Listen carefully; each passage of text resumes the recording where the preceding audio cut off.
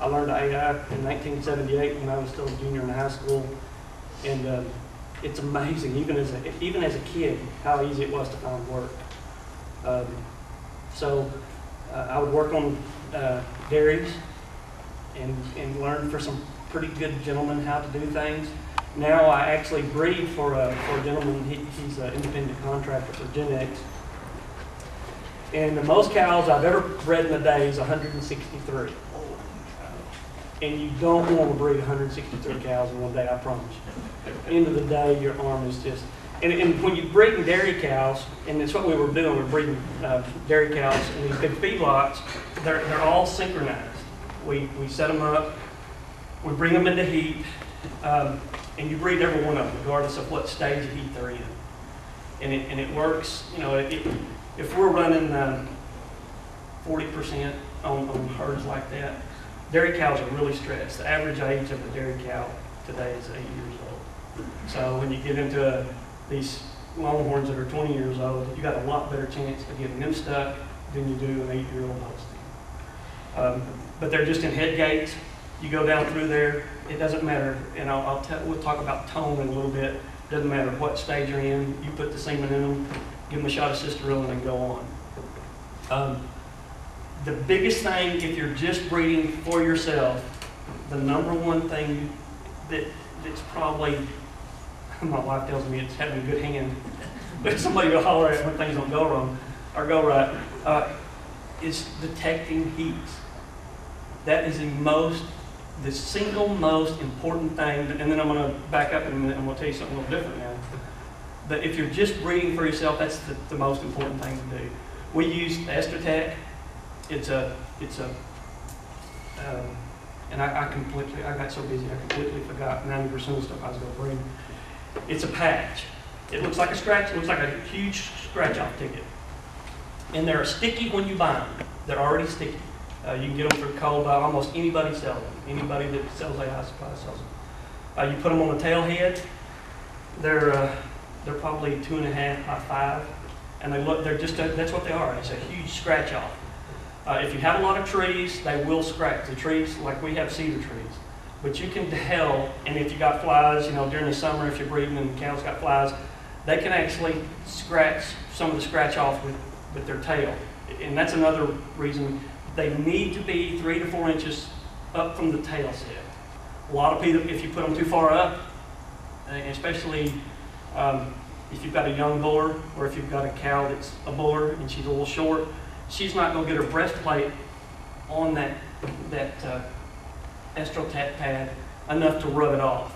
And what it does, it takes a cow uh, being ridden about a dozen times really well to scratch that thing completely off. And they are bright orange. They're gray. But like I say, look just like scratch off. They're the same gray as on scratch off. Um, one word of advice, we, what we do is they are sticky. But what we do is we buy the 3M or craft spray and spray the hair and then put the, patches on. It works better. It real, and, and also if you get if you get into a rainy season, they won't come off. Um, there's two or three other brands. Um, the, when we first got in, uh, we used one that had put actually put glue on, and it has a little dye pack in, in it. And you've probably seen these. Uh, the cow actually has to hit it hard enough to break it, and they're really sensitive because if you don't get them just in the right spot, they will not break. Uh, you know, they can be ridden over and over, and that's why I don't like the dye patches. The scratch offs. Um, like I said, the only disadvantage is if you have a lot of trees or if there's a lot of flies. They'll scratch off, but normally what they'll do is they'll scratch off about a half to a quarter inch straight down the middle. If the cows are really in heat good, you'll, you'll, we, we check heats every morning and every evening. And we sit on the far in the market road and check the cows, and you can see them from four or five hundred yards away. I mean, they are bright orange. Um, and if you're not with your cows all day, like I work during the day, I'll walk power lines, but I get home and I see an orange. She wasn't orange that morning, and she's orange now. Sometime during the day, she was in heat. Well, typically, if you see an animal in heat, standing heat, you want to breed that animal 12 hours after she's was standing. Um, and if you didn't see her standing, well, well, when was she in heat? Well, now, one of the protocols we use, um, if we catch a cow in heat, we do not know what, and this, and we do this with, with, when we set up, if we set up hundred or two hundred cows to breed, we do this to every single cow. You breed them, you give them a shot of Cystorelin.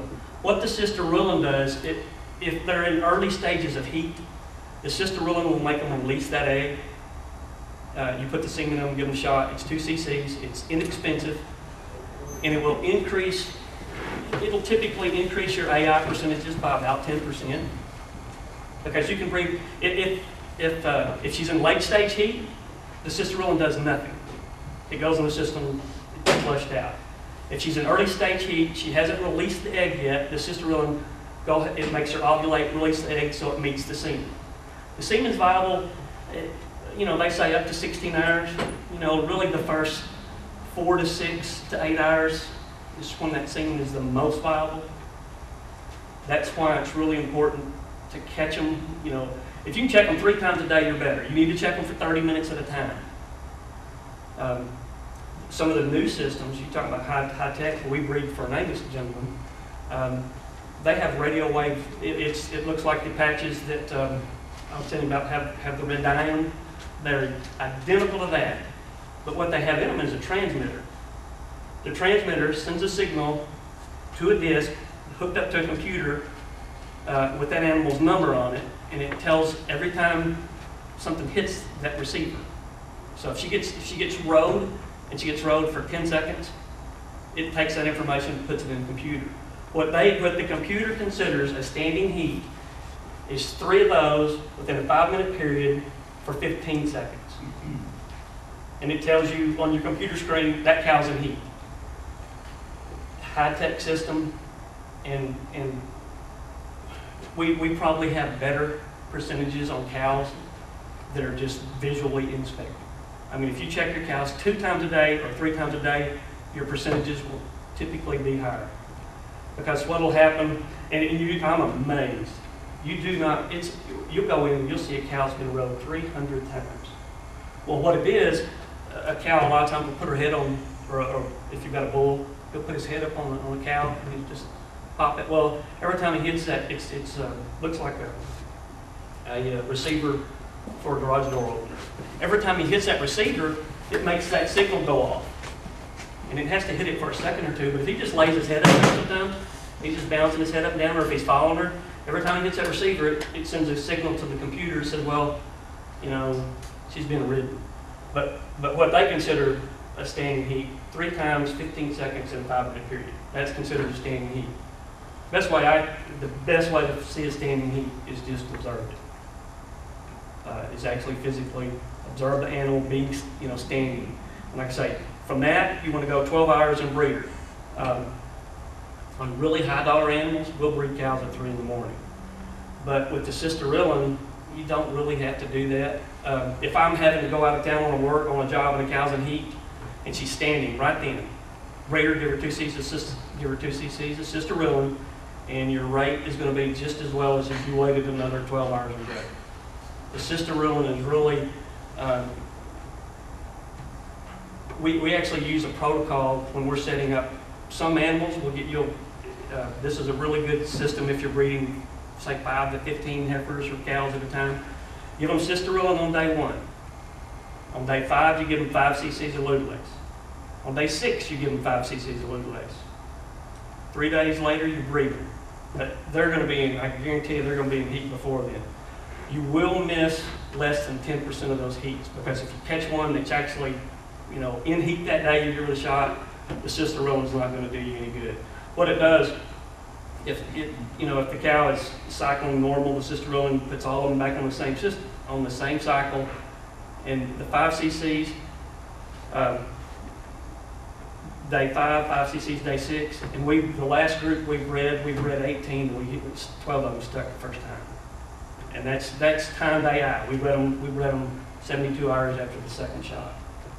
And we stuck that many of them. Um, but if you're doing sight, you know, if you're actually watching your cows and breeding them that way, we normally, you, you know, nutrition is a big thing. a lot of people, a lot of people we breed animals for, and it, it hurts their feelings. I mean, right now, my cattle are in horrible shape. But we keep out mineral, even if we don't have a whole lot of grass, we keep out mineral and we keep out protein. And, you know, our cows aren't carrying a lot of fat right now, boy, but when they come in heat, they are in good heats. We get a lot of tone, a lot of fluid, and what I, what, when I'm talking about tone, if you go in and fill a cow's cervix, you can actually, uh, if you do, like I say, 163 in one day that we did, you can go into a cow and almost tell by the temperature of her body. Normally her temperature will raise two degrees, two to three degrees. The cow's actually going to be hotter. Um, inside the vulva will be pinker. It'll, be- it'll be a, a bright, brighter pink. But you can actually feel the fluids uh, inside the uterus, you know. And I never thought you'd be able to do this, but after you breed so many, you can. You can go into a cow and tell if she's in heat or not. And when, a, a lot of high dollar animals, they'll say, what do you think? I said, no, wait. And she's not in heat yet, so wait another day or two. Uh, Lutalyse, and a lot of, a lot of vets, you know, they'll argue with you. Uh, Lutalyse and and Estrumate are, are the two, the two biggies as far as synchronizing animals. Lutalyse is weight sensitive. Longhorns, you're probably not gonna have to worry about it. But if you get into um, breeding really, really big animals, you know, fifteen hundred pounds, you're gonna have to up the rate the Lutalyse to about seven cc's. But Estrumate, it's, it's uh, the same all the way across the board because it is not tiny, it's not weight sensitive. It's kind of hard to find, but I like it better. Uh, it's two cc's, smaller shot. Only thing, uh, we use a small inch and a quarter, inch and a half uh, inch needle when we, when we give a cow a shot. That way you make sure it's in the muscle. Uh, If you're only using an inch needle on, especially on a longhorn, sometimes you get these really thick hides.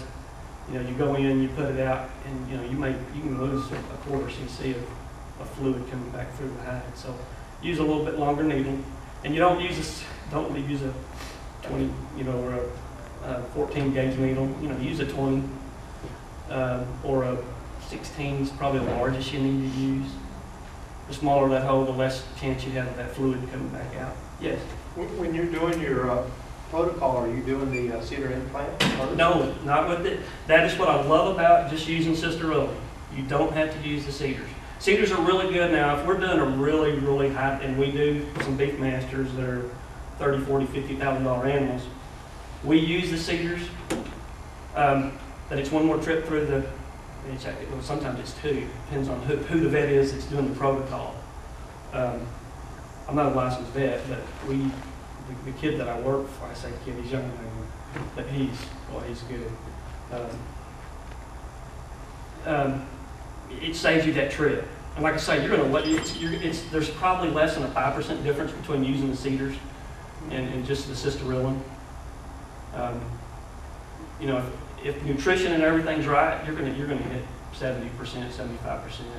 If, if, if you're doing visual, you know, visual, if you're doing strictly timed AI, uh, you know, sixty percent. Um, If we're breeding natural heats, it's nothing to hit eighty-five percent when the weather's cool. Like this time of year, the cows are really just now starting to cycle good, the green grass is coming up. If you've got your mineral out, your protein out, the cows are in good shape. Uh, and, and the hardest animal in the world to breed is a fat cow. It's like, and, and how many people in here do AI? It's like jello. I mean, I've, I've bred some show animals and they are a pain in the rear. To get that fatty tissue, I mean, you can, you can get fatty tissue around the surface. Um, the gentleman that I breed for, or breed with, uh, what we do, we'll go in and sonogram every animal. He's good enough, you know, if she's got a cyst, and that's another advantage to the Cystorelin. If she does have a cyst, she's not gonna breed that time, but if she has a cyst, you've already started the procedure to clean that cyst up with the Cystorelin. Um, but he can go in and he'll tell, you know, he can tell you what stage of ovulation she's in. Is she, was she just in heat? She's going out of heat? Um, and that way we can determine whether we're going to give them Cystorelin or not. And, and then we'll do, like I say, you know, 100, 200 a day. But um, if you're just doing four, five, or 10 at a time, you don't, you don't need to do that. Give them the Cystorelin Five days later, give them a Lutalyse, six, six day, give them five cc's, and you will be amazed. Uh, if you do ten, nine of them are gonna be really good heats. About ninety percent. Yeah, yeah, it's, When the weather's cool. yeah, and then, and then, and then just, Mother Nature has a way of, you know, all the semen all went down the right follicle, and she's just, the follicle, and it's in the left, or it's, I mean, right horn and it was in the left, and, Yeah. and that's another thing is, is learning your field. Um, when you feel the cervix, go through, grab the end of the cervix, and, and pull the cervix to you. You know, that's, I've learned that. Unless she has a fold, then you take and pull the cervix away from you, pull the, pull the folds out. Um, but the main thing, we'll take a finger and put it on the end of the cervix and let the, let the, uh, the gun hit it. And then put your semen right there. That way you, you're trying to get it in both those horns. Um, if, uh, when you're doing embryos, you know, you have to sonogram them. Unless, we got a gentleman, Reagan Brooks. If anybody needs one, that gentleman, he, he does everything by hand. He can go in and tell you what, just touch, you know, what, where you gotta put the embryo, the right one or the left one. He can fill the follicles just by hand. Um, well, I'm not that good. I mean, I've been thousands of cows, but that guy, he does deer too. Uh, Anybody that can do deer and goats are pretty good. Um, when you thaw your semen, a minimum of, uh, 45 seconds. We always go a minute, and you can leave it in. You can leave it in the thaw bath for 30 minutes. Uh, with the new thaw baths, this one this one is a, a, tw- a 12 volt. It plugs into uh, your truck. Uh, I don't have my cord, but it has a cord that plugs in here, constant 95 degrees. Uh, but I will advise you to check them and check them often. Because when they go out, well, that's an expensive go out if you don't know it. It's got a red light and a black light. Red light means the water's not warm enough, or it's too hot. Normally, it's just too cold. Because it, if it's set right, it will not overheat. It'll get to 95 degrees and stop. Green light comes on, your water's 95 degrees. When you take your semen out of your tank, do not use your fingers. Your fingers are about 91, 92 degrees. You reach in there and you're grabbing one or two or three straws, you know, you're not losing a lot. You know, it only takes one sperm, you know, to, to do, a, know, to fertilize an egg. And, and, you know, you're killing a few because you're warming that straw up. If you're grabbing one out of a canister, you pull it up, you know, you're warming those other ones up. So use, use tweezers. Um, I have to start, I, I'm getting, so I have to use cheaters. Uh, but, but, uh, main thing, make sure your number of the shower, and, and, um, I wish they would standardize the numbering system a little better. Uh, Because, uh, even Phenomenon, there's a couple other bulls out there that have the same last three numbers, but they're from a, a different producer. Well, the first two numbers, or, or sometimes one number and sometimes three numbers, on your rack are who collected the semen. It'll say 14, or it'll say 144, or it'll say 9. And all that first number means before the, the TL is who collected the semen. The number after the semen is the number that that particular company gave that bull. Um, and, and phenomenon was collected by more than, than one um, company. So that you have to be careful when you store your semen. I've got a book that I keep mine in, uh, and it tells me and what canister it in, uh, the number of it, the complete number. But then also after I pull it up and put it in the water, I mean use faucet. But if you're breeding one of your best cows, you make sure when you take that out, you dry it off, look at it. Make sure it's what you think it is. I've, I've done it once or twice. It's easy to do with uh, the new the new straws, and I don't. They haven't done. I haven't seen any Longhorns do this, but we're doing it in the in the dairy business that we breed a lot for. They're using quarter cc straws. They are tiny. Um, I hate them. Ah, believe I hate them. Um, and they're teeny tiny. I mean, they're half the size of what you're normally. You're what what everything you've got collected is a half cc straw. Well, you take that and cut it in half, and it's it's small. Um, this is a 14 gauge needle, and it's it's half that size. That's about the size of a standard straw. Is it's a fourteen gauge needle. We take that, and cut it in half, and it's got writing on it. I went, blue writing on a green straw, I hate those. Um, I'm not gonna mention the company, but I hate those green straws. They're hard to read. Clear ones are the easiest to read. Um, but pour your semen up, put it in your water for at least, and we, when we're doing a lot of animals, we have, we actually have a timer. We punch a timer and time it, and it goes off, because we breed, we take two straws at a time, we'll breed two cows, come back, get two straws, and so forth and so on. Um, but thought, forty-five seconds, uh, I- I'm safe, I feel better with a minute, because it's not harming it. Um, now, if you're thawing, if you're thawing a lot of semen at one time, and we don't, and every now and then we'll get into a little bit of trouble, with the eyes will turn, turn red, well, you've gotta stop and let your water warm up. Um, the temperature cards, these are, these are accurate, and a lot of people like the dial thermometers. These are more accurate than the dial thermometers. They give you a range between, uh, this is 98 and 94, 95, 96 optimum. And it, it's, it's uh, color coded. It'll be green right there where, when you stick it in the water. This is, I've got water in here, but it's cold. Um, make sure your water's the right temperature. Like I said, these things will mess up on you now. Um, take your semen out, you, you dry it with a paper towel. Um, read it, make sure it's what you want to put in your cow. Take it, you'll cut the, the top off. Like I say, I got in a hurry for that everything. You, you'll cut, tap, tap your straw, because you'll always, there's an air bubble in your semen. There's almost always an air bubble in their semen between the air bubble on top of the straw. Cut the top of the straw off. Cut it off wherever the semen level is. Um, because it will adjust to your, it'll, it'll adjust to whatever gun you're breeding. Um, I like the new guns better than the old guns. The old guns, are you still using O-rings on your gun? Try not to. Yeah, I don't, I don't like them because when you're putting them in and out of your shirt or under your arm or whatever, the old guns had a sheath and you slipped your sheath on your breeding gun. Well,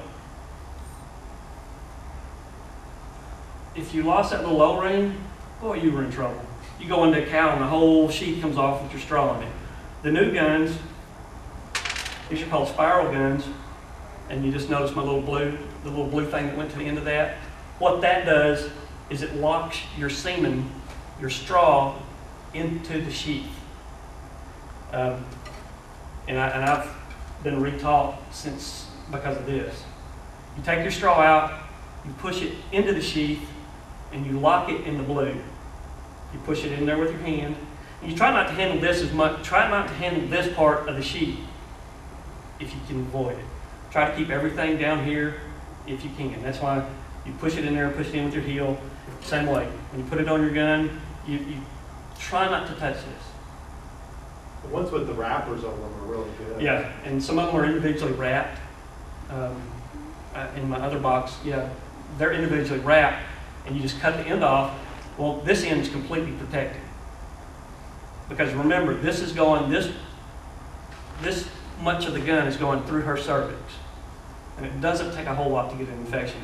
Um, before you go in the vulva, take, uh, we, we keep paper towel in our pocket, take, especially when there's lots of green, uh, those dairy cows will cough and they'll cover you. I mean, you're covered with manure. But make sure that bowl is clean. Uh, and don't, young guys are bad about this. They'll take a paper towel and they'll wipe it real hard and I'm going, no, no, no, no. Because all you did was just push manure in, inside of it. Just gently clean it. Um, pull your hand back, just use your fingers, and that vulva will split. And then you just take and put your gun in it. Keep the point up, because below the cervix, uh, below, uh, in the, once you get into the uterus, the bladder is down low. Uh, and the last thing you want to do is take this and, and jab it in the bladder.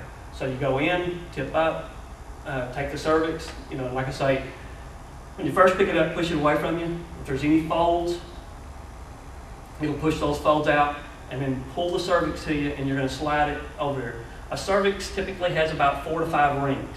Feels like a chicken's neck or feels like a person's neck. And you can feel those rings. After you've felt um, a bunch of them, you can feel those rings. Um, the, the beef masters, um, I, You know, I'm not a beef master person, or I don't like them, or I don't hate them, they're beautiful cows. Some of their cervix are literally that big around. Um, when they, and one of the gentlemen we work for, he super ovulates these cows. It's nothing to get 80 eggs out of these cows. He's burning his cows up, he's ruining them. And when you pick that cervix up, it hurts. It would be like you having poison ivy all over your arm, somebody grabbing it like this. I mean, it literally hurts. And their cervix are huge anyway. Um, and you think, well, that's easy. They're gonna, the opening's bigger. Well, not necessarily.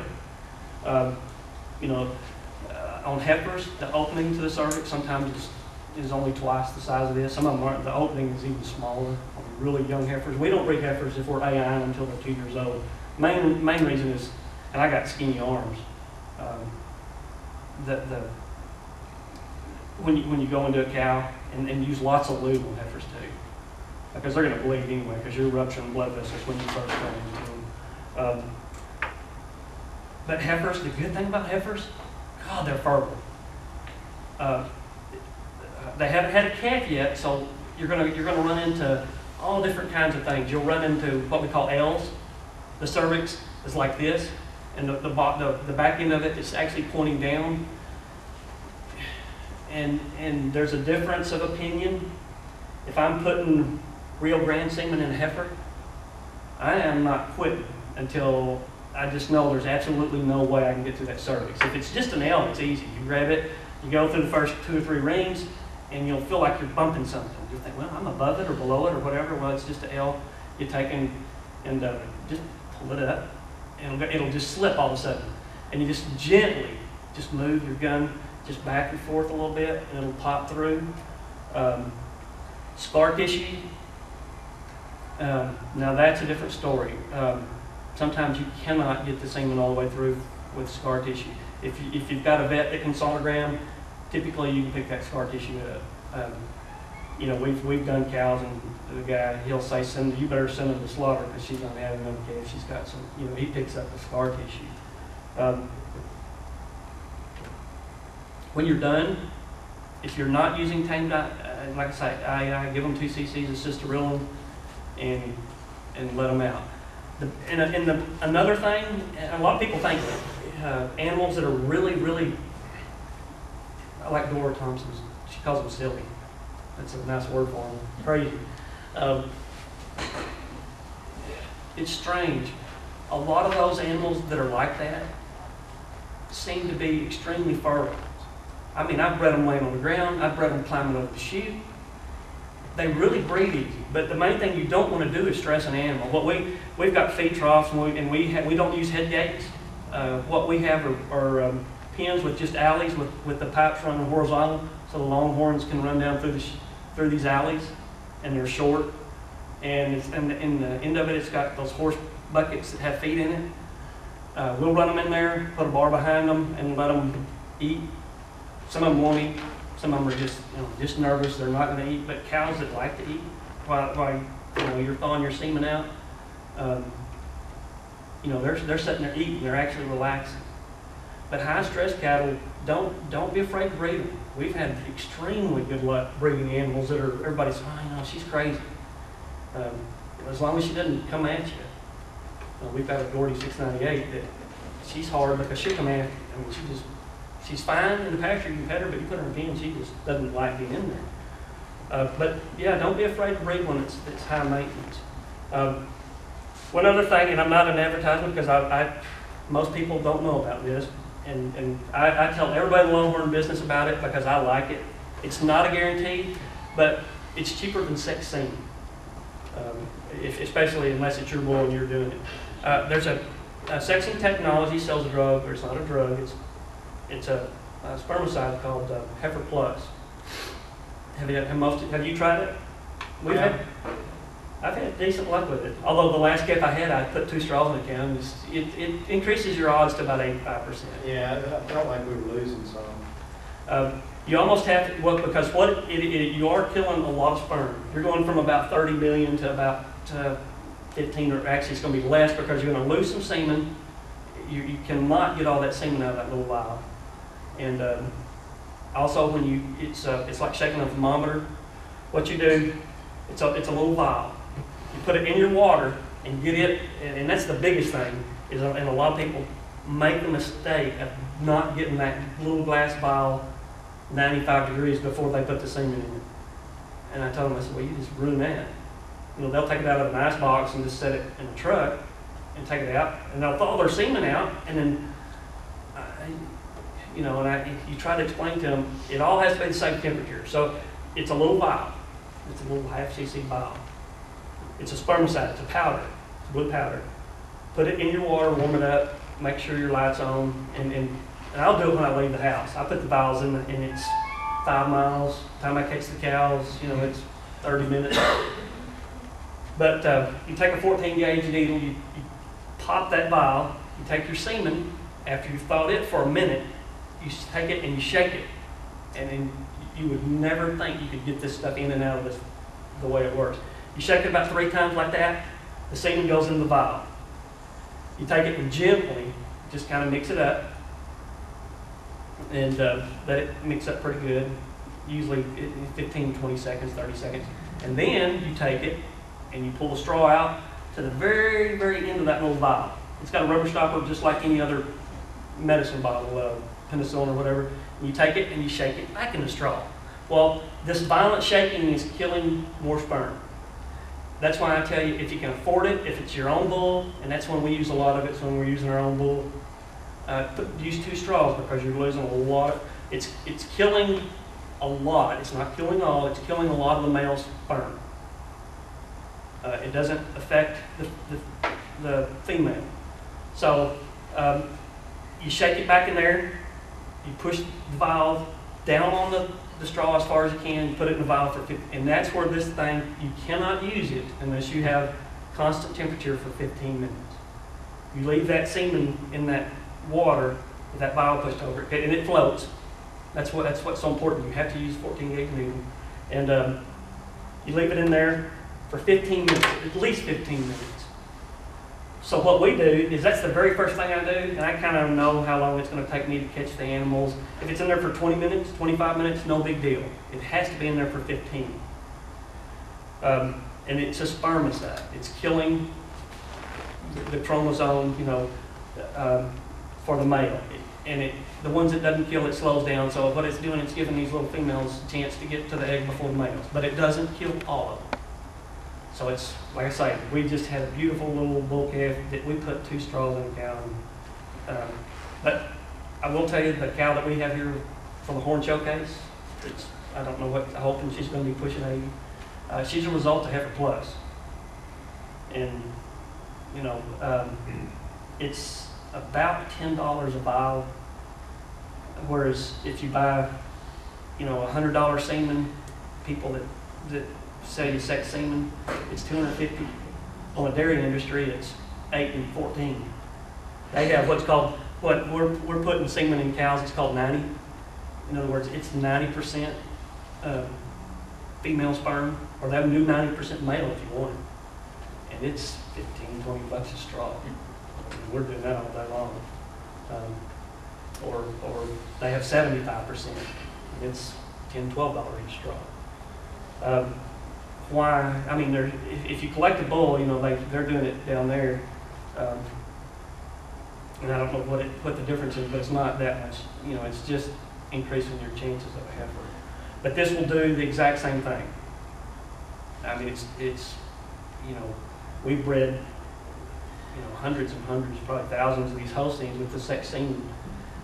And you're, you're still gonna get bulls. It- There's no guarantee. But it, you you know, they're still getting eight, eight out of ten. Uh, it's the best thing that ever happened to the dairy industry, the sex semen. Because they don't need bulls. Uh, with the new DNA testing, they can pull a hair from a, from a calf when it's born, and they can tell you whether that calf's gonna produce or not. If you wanna spend the fifteen bucks to have it done. I mean, it's, the dairy is, yeah, it's so far ahead. Uh, it's like the horn, the horn, what the geneticists that come in from California to talk to us, said, yeah, you can do it with horns. Don't know that I want to, I think it it, I think it'd take a lot of fun out of it. But if you had a, uh, a big enough gene pool where they could take all of the biggest horn animals in the breed, pull hairs on them, do DNA, they could locate that on the chromosome where that DNA, and they could pull the hair on that calf when he was born and tell if he had it or not, within 85, 90 percent. Uh, and that's what they're doing in the dairy breeds. I mean, they can tell you whether the bull's going to be good. I mean, basically when he hits the ground, if he's a dud or stud, just by pulling hair on him. And, they- and they're 98, 99 percent accurate on theirs. Um, any questions? I know I ramble a lot. I, I can talk all day. But um, like I say, the number one thing is, is catching them in the heat. And it's, uh, um, they're no different than deer. I mean, a lot of times deer, you cannot catch a cow in heat. That's what I love about the patches. You put it on at night, come back next morning, it's orange, and there's nothing bothering her. You know, she's coming in heat at night. Um, and, and that's a savior. And what we'll do, if, if she, we come, you know, we put it on that night, come back next morning, it's orange, we'll go ahead and breed her and give her the Cystorelin, and she'll probably stick. Um, uh, The Cystorelin is just extending her cycle, is why you're giving it to her? no, but it, it makes them, it makes the, makes her go ahead and ovulate, makes it release, and it, it's, uh, D- uh, Darlene can tell you all the tech, you know, the tech, the technical terms for it, but it, it's, um, it'll save you some headaches. It'll save you some time. Um, Like I say, when we're doing big groups, like a hundred, every one of them gets it, because it's strictly, you know, we're breeding seventy-two hours after they gave, the, the guys in the dairy barn gave them their last shot. So every single one of them gets a shot, and, and they all have, they've all been, we, on those, we use paint markers. Uh, you just paint them up, you know, as heavy as you can on the tail heads, and it works pretty good.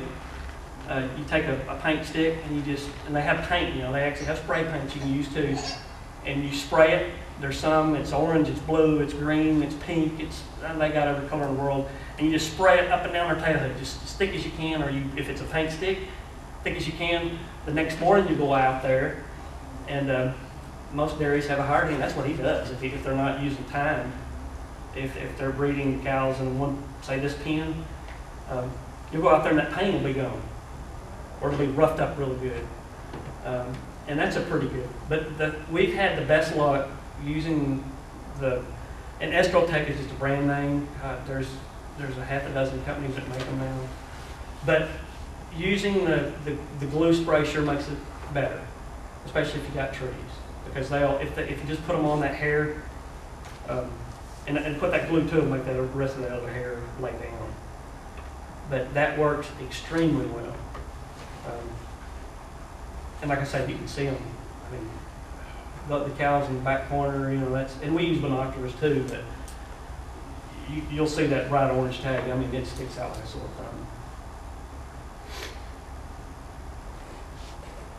Any other questions?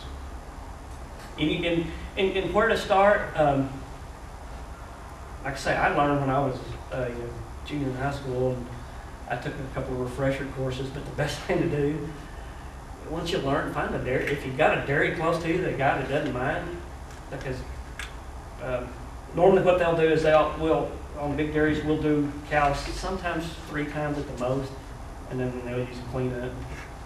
Uh, if they're really, really, really good cows, they might go four, but most of them will go two to three times, and they're, they kick them out with bull because they're not making money if they're not lactating.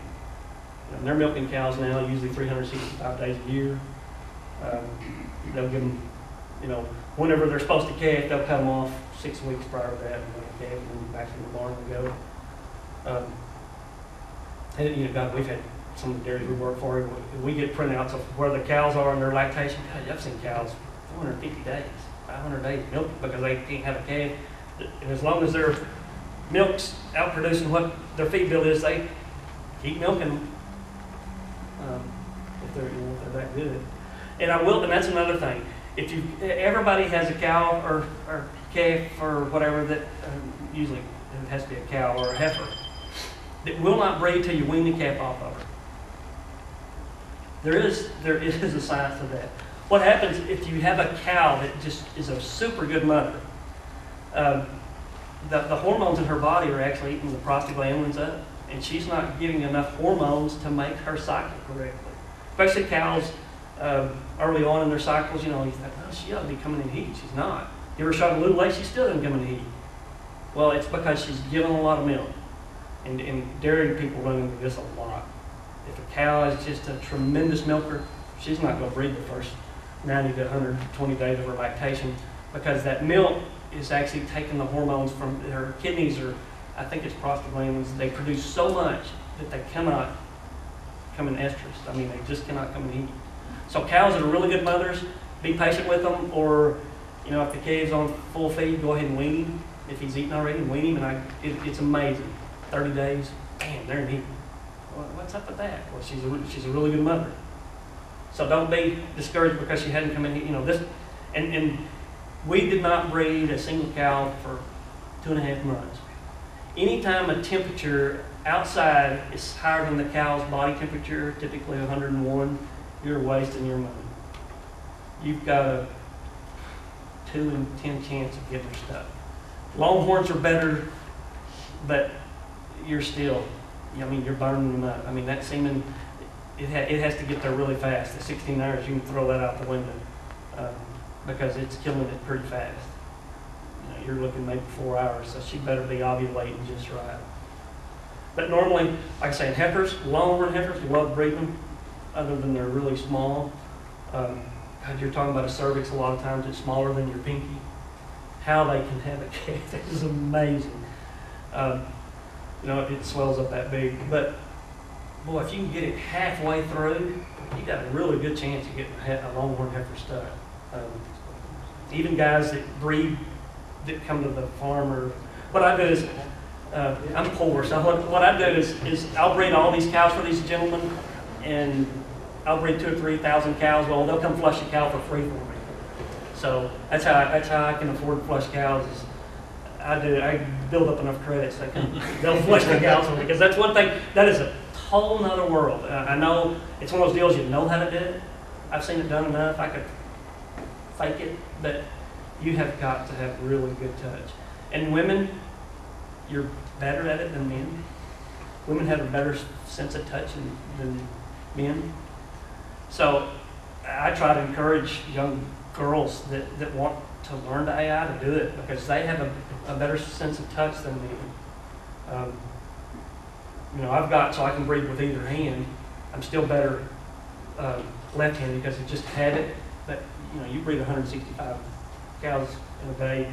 You've got to switch hands. I mean, it's just, and I'm not near as good because I have a hard time working the gun with my left hand. Is the main thing. It's not feeling the cervix. I can feel it exactly the same. But you, you know, you're having to, to take this and try to do it with your left hand and you're not left-handed. You know, and, and when you do pull, and that's, it's like shooting a gun. You don't, you don't pull the trigger, you squeeze it. Well, and when we're teaching young guys to breed cows, you'll watch them. They'll take this plunger and they'll take these two fingers and they, they pull it, they, they're pulling the gun to the plunger. So it's a, no, no, no, no, no. You just put the semen right in the middle of the cervix. So it's okay. You do not move that gun. You move that plunger. You push and gently. You know, you don't push it fast. And if it's an expensive bull, this is. I double check. I put half the straw in the cow. I pull the pull the gun halfway out the cervix, go back, make sure I'm very into the cervix, and I'll put the other half if it's if it's high dollar stuff, because you know that's another thing. But if Mother Nature says it's just not time for her to get pregnant, you're nice getting her pregnant. But AI, there's so many advantages. Uh, and I, t- you know, I've, a guy in Oklahoma calls me once a day. Love him to death. Got five cows and he's got a bull. Why? I mean, you know, you can get really good semen on just about any bull. It's going to be better than that bull you have. Um, AI, find a dairyman if nothing else, they'll, they'll do it. Uh, vets charge, when we do big herds, we, we charge by the hour, but typically if I'm just doing two or three head, we still won't charge ten dollars a head to breed cows. Uh, if we're putting them up and breeding them, you know, we charge two and a half a day to, to root and board them. Because, um, I can sonogram with the machine I have, I can sonogram at about forty days, but the kid I work for, he can sonogram at twenty-five days and hit about ninety percent pregnancies. Um, And sonogram's good and it's bad. A lot of people that take cows to sales now, at 75 days, between 75, 70 and 90 days, if you're really good, you can tell whether that calf is a heifer or a bull.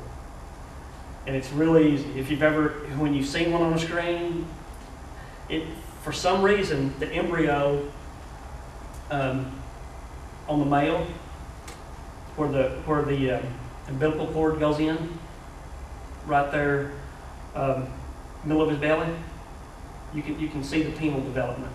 It's just as bright of white on a heifer. The vulva is just the brightest white. It is the neatest thing.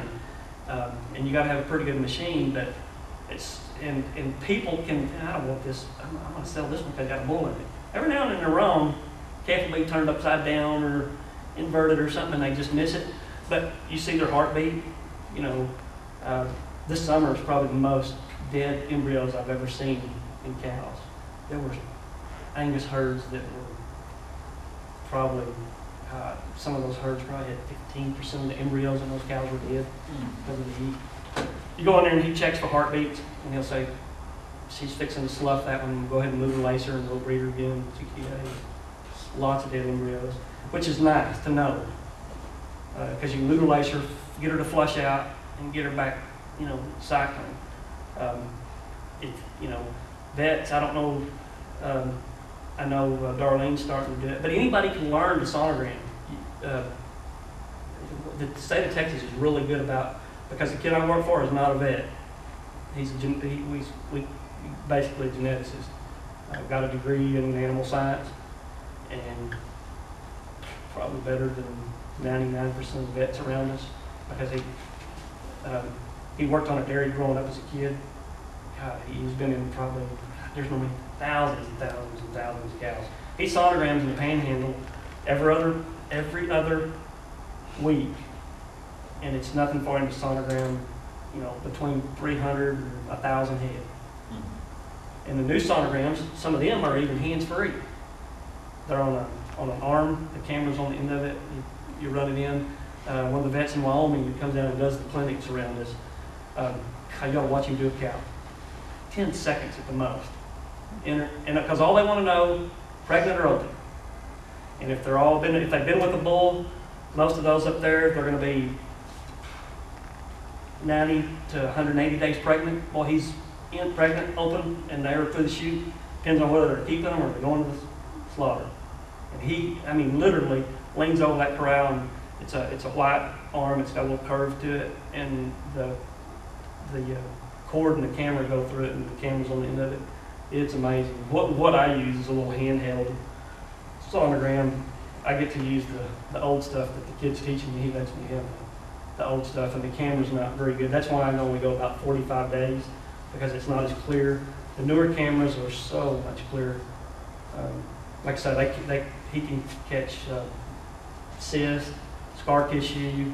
Uh, I had a cow that had what's called pyometra. Her, her uh, uterus kept filling up with water. She thinks she's pregnant all the time. Uh, we took her to Sexing Technologies and we flushed her, got all the water out of her uterus, but we don't know if she'll ever breathe. And she's a phenomenon cow with about 76, 77 inches. I got her from uh, Cassandra Cross when, after her husband died. She's a beautiful pasture ornament. But uh, stuff like that you can pick up. Um, you know, cows that are having trouble breathing, find a vet that can sonogram them, and usually there's a reason.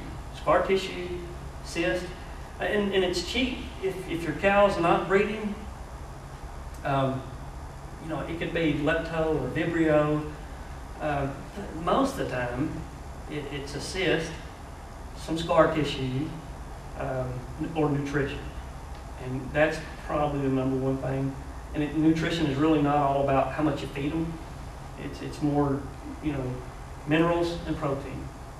They don't, like I said, fat cows are the worst. Any questions? I know that's a, a lot of rambling. But we, you know, anytime anybody has any questions, um, you call me. I, I, I go anywhere to breed cows. I enjoyed, I actually enjoy doing it. Uh, 163 I don't.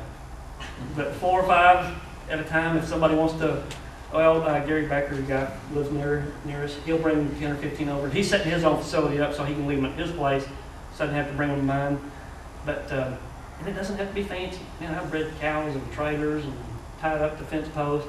If they're gentle enough, like I say, all I need to know is when, you know, call me when they're standing in heat, so I can be there twelve hours later to bring her. Um, That's most of it. Like I say, I know I'm forgetting lots of stuff, because the, the, the new technology is just amazing. Um, You can get videos on it now, but you almost have to go to a class to learn, because what they'll do is they'll put uh, embryos, or they'll put um, uterine tracts inside a plastic bag, because the, the, the, uh, the anal wall thickness is about the thickness, thirty millimeters of a trash bag. And that's what you're filling through when you're trying to, you go, you know, go in the anal cavity and you're feeling, um, you know, it's a pretty thin lining. It's tougher not to get out. Man, it's tough. I don't know I've ever seen one rupture. Um, and that's the way they teach us through those plastic bags. And then from plastic bags, you go to cows that are going to slaughter and you go in them and practice. But uh, dairies are, most dairies, you know, we, we teach uh, Hispanic cows all the time to breed um, that are around the cows every day, and they, they can pick it up. You know, in two or three weeks, they're pretty good at it. Um, and we, that's what, you know, we'll go in, you can't go, we make them go in and try to feel what they're, you know, trying to teach them. But the good thing about the class is you're actually feeling track, and you look at them, um, because they call them uterine horns. They call them uterine horns for a reason. That's what they look like. Look like a um, looks like a set of ram horns. And when you're sonogramming, that's the problem with sonogramming because the, the uterus goes in like this and it splits and comes into two horns. When you're sonogramming, you always, I always want to go too far. Well, I pass the calves because the calves are almost sitting under the cervix a lot of times. Uh, and you're shooting a beam about that wide, and so you're, you're going back and forth looking for a, you know, sometimes you're looking for a little thing about that, that big. Uh, A fluid sac is, is the first sign that there's an embryo. A fluid sac doesn't guarantee a pregnancy, but if you see a fluid sac, there's a pretty good chance there's an embryo in it. And two weeks later, you'll, the little baby will start to, you'll start to see it. In forty-five days, you got, you, you should be able to see a good heartbeat at forty-five days. So, any questions? Like I say, I'm not good at, I used to be an ed teacher and I hadn't done it for a while. I didn't bring my, I didn't bring my, uh, my lesson plan with me. That it? And Yes. Do you do any in vitro? Uh, no, I use, uh, and then there's lots of guys. I like the guys, the reason I like Sexing Technologies is they developed in vitro.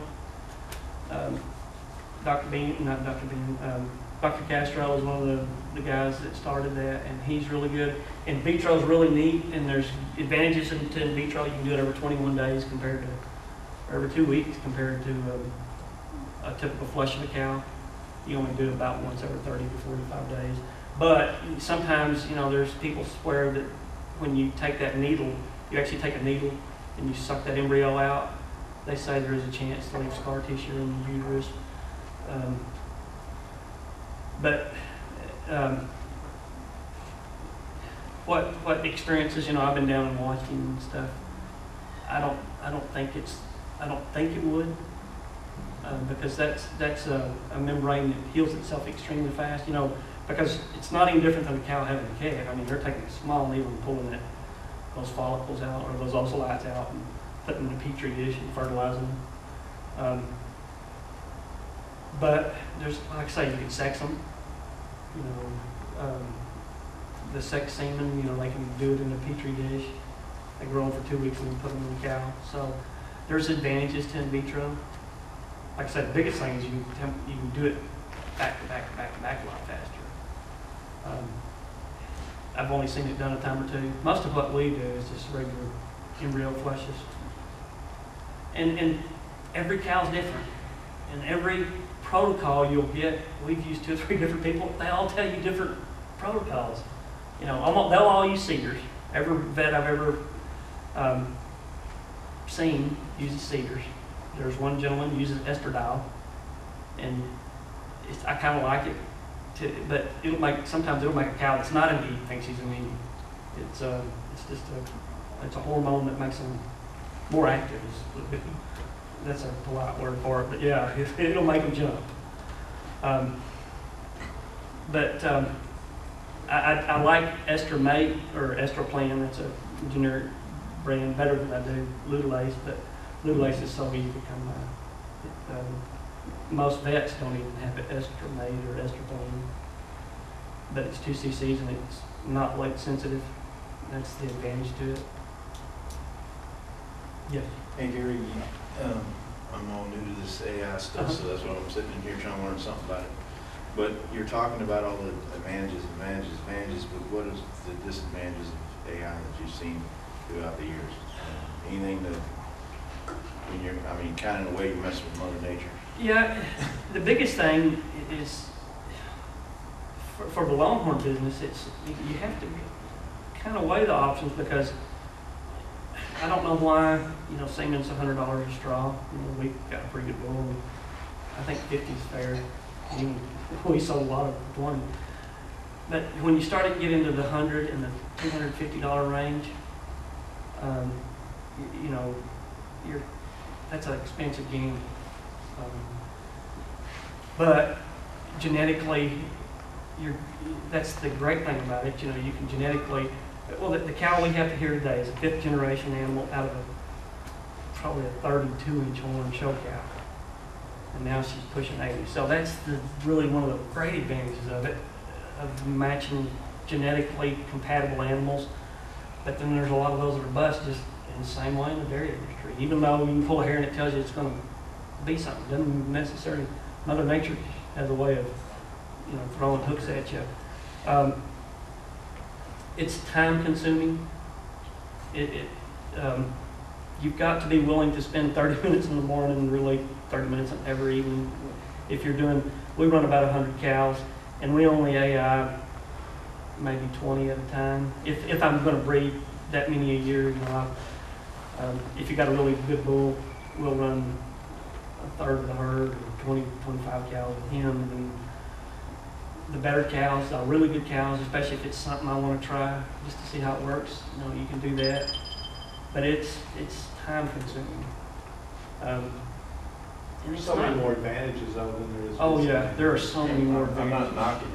Yeah, yeah. No, no, Yeah. I'm not knocking Yeah, it. there's- It is, ti- I would say the one thing is time, time consumption. Yeah. Um, and then it's expensive to get into too. I mean, a semen tank, um, you know, a good semen tank's gonna run you five hundred. This is hundred and ten. Um, the kit, um, another 125. So you've got, you're gonna tap some money at first, and nitrogen, we filled four tanks yesterday, and my nitrogen bill was hundred and ten dollars. Nitrogen's going through the Additional roof. setup for all the equipment. and So, everything. Um, You know, that's, that's probably the biggest one, is the initial setup's pretty steep, yeah. So for somebody that's running a small herd, I'm not ever gonna get three hundred head, I'm not ever Yeah. hoping to be there. If I hit fifty head, it's gonna be amazing. Um, most likely 20, 25 head, I'm better off finding somebody that's doing it, taking my cows to and let them handle that. Being as they're the professional, can handle it and know what they're doing, rather than trying to do it myself, you think? Well, there's, the biggest advantages to doing it yourself is, uh, and I treat every cow typically like it's mine. Um, You know, I've, I've been to some places that, that are some high dollar places, and boy, you wanna take a board to some of those guys handling the cattle. And I mean, I'm, s- I've seen, I've said, well, she ain't stick. They run around in a four liter for thirty minutes before they bred her, and ain't sticking. It, it ain't happening. I mean, if you have to chase an animal, and chase her and chase her and chase her, and get her excited, yeah, you better wait another twenty-one days. And that's the advantage. You know what you're doing, you know how you're handling your animals, you know what you're putting in your animals. Get, this is, this is the, this is a kicker. Uh, breeding these thirty thousand dollar Santa Gertrudis, we're doing the embryo flush.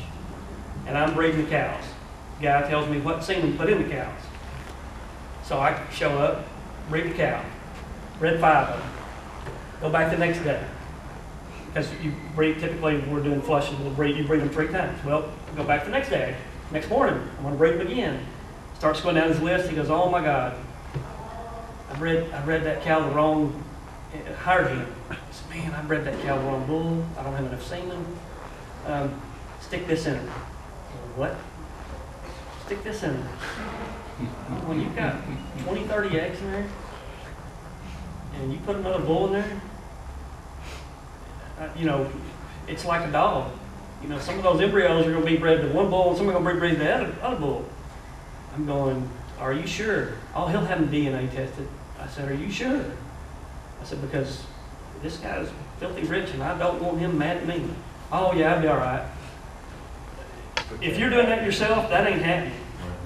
I mean, I did what I was told to do, but, uh, and I told, told Craig, I said, hey, Craig, you might want to tell Mackie what, what that guy just, and, you know, we're using semen that's kind of like longhorn semen. I mean, it's, some of it's two, three hundred dollars a pop. And one of the bulls was his own, so it- that one didn't matter, but the one that they chipped in mattered. So that's not a, that's not a good, whereas if you're doing it yourself, you know what you got when you're finished. Um, and anytime you work your own cattle, I think you're better off. Uh, Or, or at least watch somebody work them. Um, you know, you just feel more comfortable doing it.